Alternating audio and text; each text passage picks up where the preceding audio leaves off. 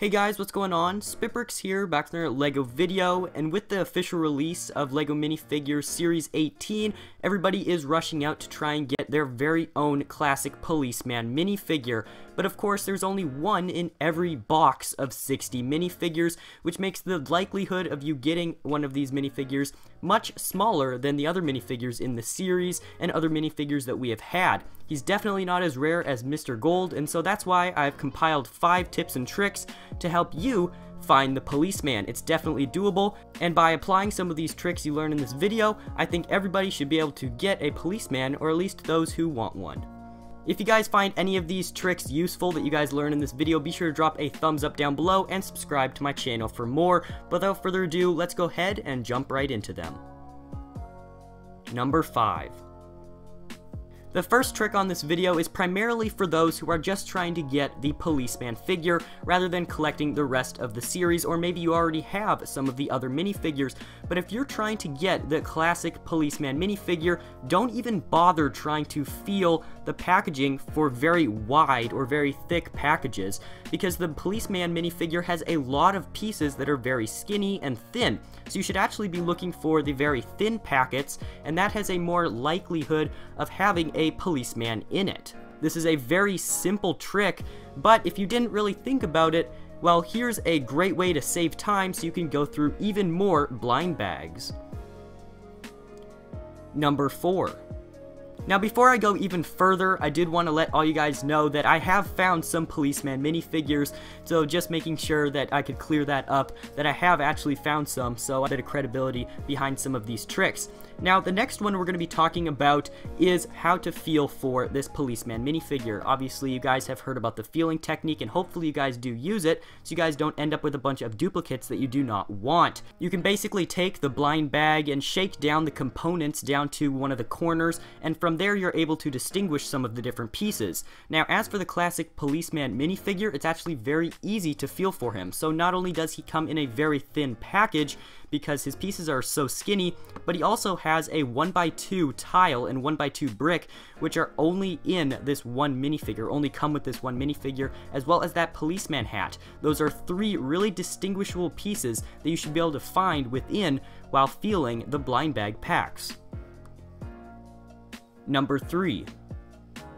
So if you're having trouble even finding any of these minifigures, just they're not on shelves or maybe they're all sold out already, there's always one trick that you can always do, and remember that you're the customer and there are people working there.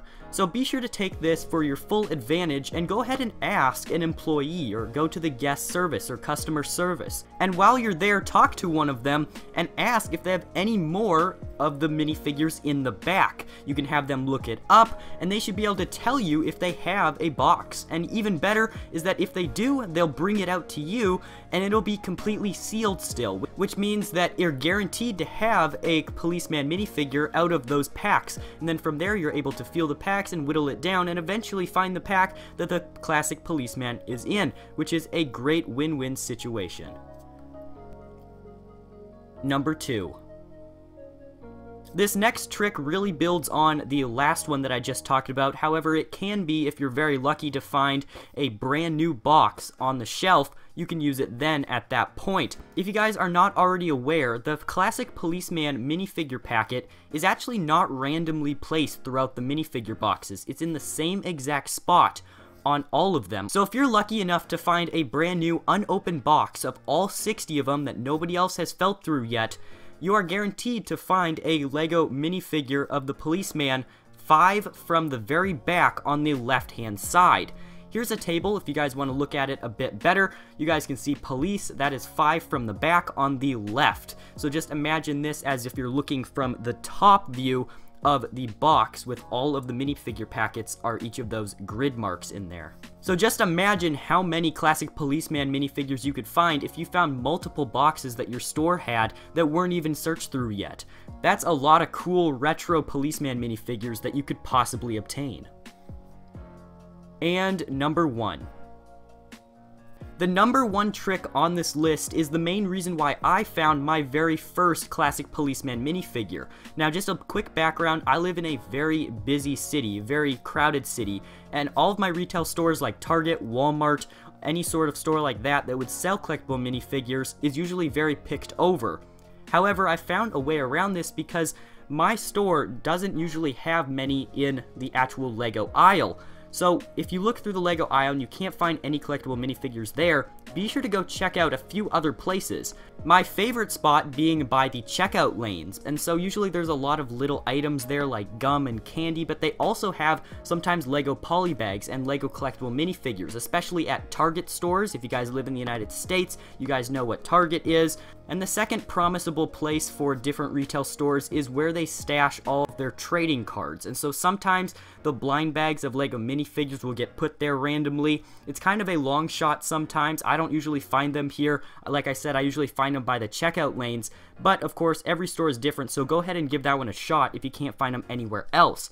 Now, like I said, I usually find them around in this area in Target. If you guys have Targets around where you are, be sure to go check those places out by the checkout lanes. This is not my Target you're seeing right here. It's just a image from online, but still, this is really where I usually find them. So if you guys don't always check there, be sure to go check there. And what's really cool is that if you can find one in one of the checkout aisles, usually they're in all of them. So just imagine finding, like in this picture, eight of them, eight aisles with a little string of collectible minifigures hanging there. That's pretty cool, and that's how I found my first collectible minifigure policeman. He was all the way in the back of one of these checkout aisles, and that's where I found him.